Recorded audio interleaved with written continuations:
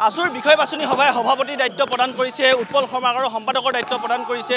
শংকৰজ্যোতি বৰুৱাক আৰু দুয়োগৰাকী নেতাক এই মুহূৰ্তত মৰিগাঁও চহৰৰ মাজেৰে ছাত্ৰ সন্থাৰ নেতা কৰ্মীসকলে বিপুল আদৰণি জনোৱা পৰিলক্ষিত হৈছে। চহৰৰ মাজ মাজেৰে এই ধৰণে মাজেৰে এই ধৰণে এক বৃহৎ ৰেলী বাহিৰ কৰা হৈছে। সকলোৰে মুখত জয় আই অসম ধ্বনি আৰু দুয়োগৰাকী নেতাক ফুলাম গামোচাৰে সম্বৰ্ধনা জ্ঞাপন কৰি বিভিন্ন জিলা ছাত্ৰ সন্থাৰ নেতা কৰ্মীসকলে এই ধৰণে আদৰণি জনোৱা পৰিলক্ষিত হৈছে এক বিপুল আদৰণি ছাত্ৰ সন্থাৰ নেতৃত্বক এই মুহূৰ্তত বিপুল আদৰণি জনোৱা হৈছে আৰু পৰিৱেশটো মই দেখুৱাইছোঁ মৰিগাঁৱৰ পৰিৱেশ এয়া আৰু মৰিগাঁও চহৰৰ মাজেৰে এই ধৰণেই আগবাঢ়ি গৈছে এক বৃহৎ ৰেলী আৰু দুয়োগৰাকীকে আমি শুভেচ্ছা জ্ঞাপন কৰিছোঁ আৰু ছাত্ৰ সন্থাৰ এই মুহূৰ্তত নতুন নেতৃত্বক পাই উৎফুল্লিত হৈ পৰিছে আছুৰ নেতা কৰ্মীসকল আৰু চহৰৰ মাজেৰে এই ধৰণে আগবঢ়াই নিয়া হৈছে। আছুৰ নেতৃত্ব এই মুহূৰ্তত আছে শংকৰজ্যোতি বৰুৱা দ্বিতীয়বাৰৰ বাবে দায়িত্ব লাভ কৰা প্ৰথমে নিশ্চিতভাৱে মই প্ৰথমতে মৰিগাঁওবাসী ৰাইজক ধন্যবাদ জ্ঞাপন কৰিছোঁ। এখন এখন সুন্দৰ অধিৱেশন উপহাৰ দিয়াৰ কাৰণে। আৰু লগে লগে মই ধন্যবাদ জ্ঞাপন কৰিছোঁ সমগ্ৰ অসমৰ ছাত্ৰ সন্থাৰ কৰ্মকৰ্তাসকলক যিসকলে সম্পূৰ্ণ আস্থা আৰু বিশ্বাস ৰাখি আমাক দ্বিতীয়বাৰৰ বাবে এই দায়িত্ব অৰ্পণ কৰিলে আমি তেখেতসকলৰ আস্থা আৰু বিশ্বাসক আগত ৰাখি সম্পূৰ্ণ সততা আৰু নিষ্ঠাৰে অনাগত দিনত ছাত্ৰ সন্থাৰ হৈ বা জাতীয় জীৱনৰ জটিল সমস্যাবিলাকৰ সৈতে যুঁজ দি কাম কৰি যাবলৈ আমি চেষ্টা কৰিম। নতুনকৈ দায়িত্ব লাভ কৰিছে সভাপতি হিচাপে। বিষয় বাছনি সভাই দায়িত্ব অৰ্পণ কৰিছে। উৎপল শৰ্মাক প্ৰথমে শুভেচ্ছা জ্ঞাপন কৰিছোঁ। ছাত্ৰ সংগঠনৰ দায়িত্ব আছুৰ দৰে সংগঠনৰ দায়িত্ব লাভ কৰিছে। প্ৰথমটো প্ৰতিক্ৰিয়া কি ধৰণে ব্যক্ত কৰিব? এইখিনি সময়ত আমি জাতীয় শ্বহীদসকলৰ ত্যাগক শ্ৰদ্ধাৰে সৈতে স্মৰণ কৰিছোঁ আৰু জাতীয় শ্বহীদসকলৰ আশীৰ্বাদ বিচাৰিছোঁ।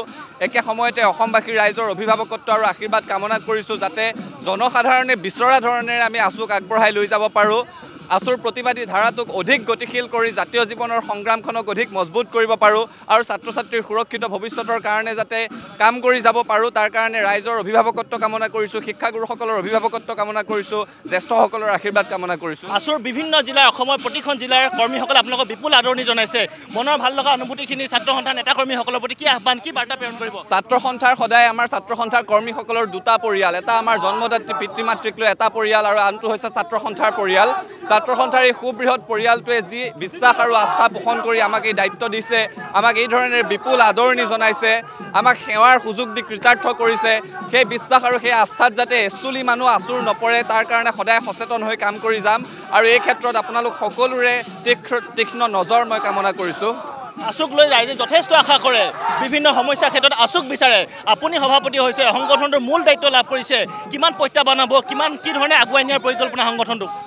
আছু অসমৰ ৰাইজৰ সন্তানৰ দৰে। আছুক ৰাইজে ভাল পায় আছুক ৰাইজে মৰম কৰে। আছুৰ পৰা আকাংক্ষিত ফলাফল নাপালে ৰাইজে অভিমান কৰে। গতিকে সেই অভিমানসমূহ ভাঙি আমি যাতে প্ৰতিটো মুহূৰ্তত ৰাইজৰ প্ৰত্যাশাত উপনীত হ'ব পাৰোঁ আমি থিয় হ'ব পাৰোঁ তাৰ কাৰণে সদায় চেষ্টা অব্যাহত ৰাখিম। মই এইখিনি সময়ত মাত্ৰ এটাই ক'ব বিচাৰিম যে অসমবাসীৰ ৰাইজৰ অভিভাৱকত্ব আশীৰ্বাদ অবিহনে আমি কোনো নহয় আমাৰ ব্যক্তিগত অস্তিত্ব বুলিবলৈ একো নাই। গতিকে সংগঠনটোক ৰাইজে আশীৰ্বাদ দিয়ক আমাক সংগঠনটোৰ মাধ্যমেৰে সেৱা কৰাৰ সুযোগ দিয়ক। সেই কামনা। আৰু মই দেখিছোঁ এই ধৰণে আছুৰ নেতা দুয়োগৰাকী নেতাক নৱনিৰ্বাচিত দুয়োগৰাকী নেতাক এই ধৰণে আগবঢ়াই নিছে মৰিগাঁও চহৰৰ মাজেৰে। আমি শুভেচ্ছা জ্ঞাপন কৰিছোঁ কথা পাতিম কিন্তু এই মুহূৰ্তত পৰিৱেশটো মই দেখুৱাব বিচাৰিছোঁ। মৰিগাঁও চহৰৰ মাজ মাজে অধিৱেশনস্থলীলৈ আগবঢ়াই নিয়া হৈছে সংগঠনটোৰ নেতৃত্বক আৰু সেই পৰিৱেশটো আমি দেখুৱাইছোঁ। মই পুনৰ সাধাৰণ সম্পাদকগৰাকীৰ কাষলৈ যাবলৈ চেষ্টা কৰিছোঁ। আছুক লৈ ৰাইজৰ যথেষ্ট আশা। আপোনাৰ দায়িত্ব পুনৰ বাঢ়িল। বিগত সময়ৰ অভিজ্ঞতা নতুনৰে কি পৰিকল্পনা বিভিন্ন ধৰণৰ পৰিকল্পনা প্ৰতিনিধি সভাত আমি ৰূপৰেখা অংকন কৰা হৈছে।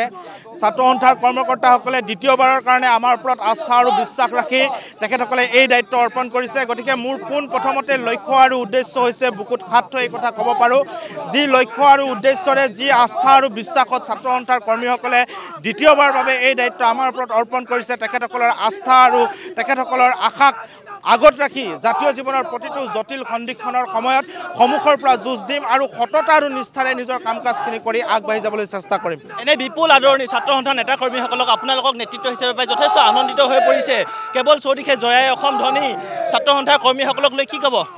ছাত্ৰ সন্থাৰ কৰ্মীসকলে হৈছে আচলতে প্ৰধান আমাৰ কৰ্মকৰ্তা। যিসকলৰ কাৰণে আমি সদায় বিভিন্ন ঠাইত বুকু পিন্ধাই ছাত্ৰ সন্থাটোৰ বিভিন্ন কাম কাজ কৰি থাকিবলৈ সক্ষম হওঁ। ইয়াত প্ৰতিটো শাখা উপশাখা তৃণমূল পৰ্যায়ৰ কৰ্মীসকল আহি ইয়াত উপস্থিত হৈছিল। তেখেতসকলে মনৰ চিন্তা পৰিকল্পনা ইয়াত ব্যকত কৰিছে।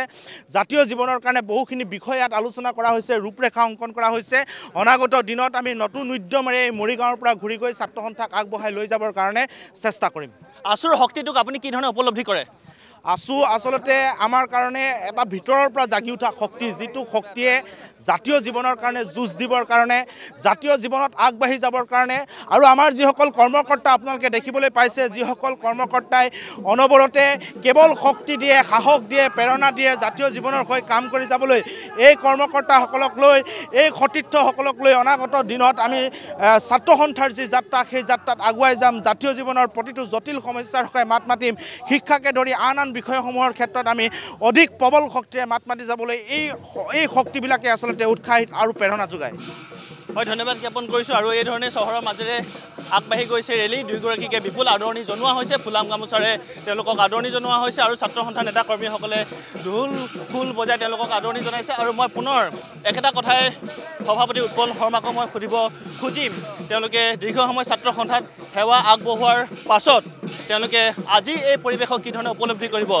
সভাপতি হিচাপে নতুন দায়িত্ব বহুত আশা কৰিছে। আচুক লৈ উৎপল শৰ্মাৰ উপলব্ধি কেনে? আছু আমাৰ কাৰণে এক সাধনা আছু আমাৰ কাৰণে এক পৰিশীলিত জীৱনশৈলীৰ নামান্তৰ মাথো। আছুক সাধনা হিচাপে সেৱা হিচাপে লৈ পেলাই আমি আগবাঢ়ি আহিছোঁ ইমান দিনে। আৰু যেতিয়াই সংগঠনটোৱে যি স্থানৰ পৰা আমাক সেৱাৰ সুযোগ দিছে সেই সুযোগ আমি সদব্যৱহাৰ কৰি নিষ্ঠাৰে সততাৰে সেৱা আগবঢ়াইছোঁ। এইবাৰ বিষয় বাছনি সভা প্ৰতিনিধি সভাই আমাক ছাত্ৰ সন্থাৰ সভাপতি পদৰ পৰা সেৱা আগবঢ়োৱাৰ সুযোগকণ দি কৃতাৰ্থ কৰিছে। সেই সুযোগৰ আমি সদব্যৱহাৰ কৰিম। সেই সুযোগ অথলে যাবলৈ নিদিওঁ আৰু ৰাইজৰ আশীৰ্বাদ অভিভাৱকত্ব কামনা কৰিছোঁ। যাতে জনসাধাৰণে বিচৰা ধৰণেৰে সংগঠনটোক আগুৱাই লৈ যাব পাৰোঁ। আৰু এয়া হৈছে মৰিগাঁও চহৰৰ মাজেৰে দুয়োগৰাকী নেতাক বিপুল আদৰণি জনোৱা হৈছে সেই পৰিৱেশটো আমি দেখুৱাই আছোঁ। আৰু যি শ্বহীদ বেদী শ্বহীদ বেদীত তেওঁলোকে শ্ৰদ্ধাঞ্জলি জ্ঞাপন কৰিব এই মুহূৰ্তত সেই পৰিৱেশটো মই দেখুৱাইছোঁ পোনে পোনে বিষয় বাছনি সভাস্থলীৰ পৰা আছু নেতৃত্ব আহি এইদৰেই শ্ৰদ্ধাঞ্জলি জ্ঞাপন কৰিব আহিছে শ্বহীদৰ বেদীত। শ্বহীদৰ শ্ৰদ্ধাঞ্জলি জ্ঞাপন কৰিব দুয়োগৰাকী নেতাই। সেই পৰিৱেশটো আমি দেখুৱাইছোঁ।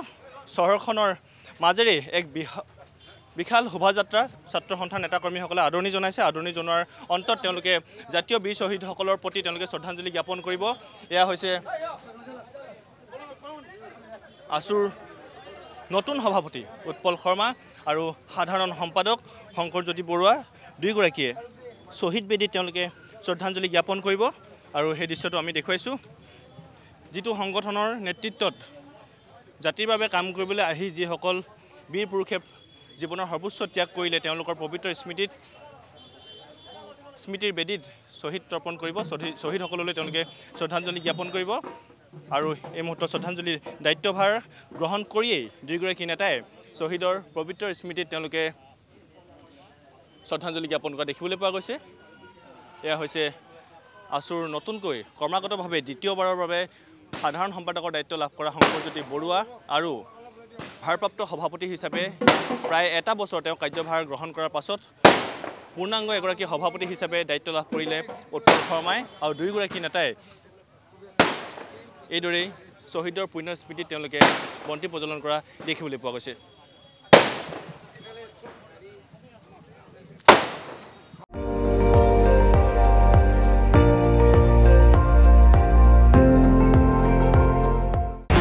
আপুনি চাই আছে এন ডি টুৱেণ্টি ফ'ৰ।